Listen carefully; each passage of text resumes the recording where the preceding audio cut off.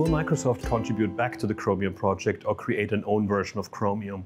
We will contribute back to the Chromium project. We already did. There's over 300, no, 400 pull requests already that went back upstream.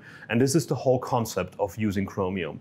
We did not want to just take a product and make our own product out of it. We want to contribute to the Chromium platform, which which uh, runs lots of browsers, lots of development environments, lots of automation environments as well.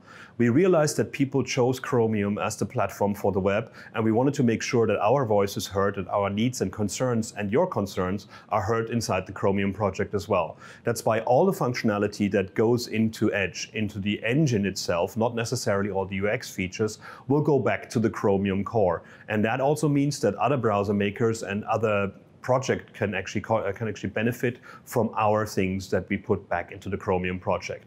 Right now, these things uh, include functionality in performance, functionality in accessibility, smooth scrolling, and a few other things that were not there and people wanted to fix for years but didn't have the time to. So more developers on a very, very important part of the open web right now is a good thing, and that's what we did.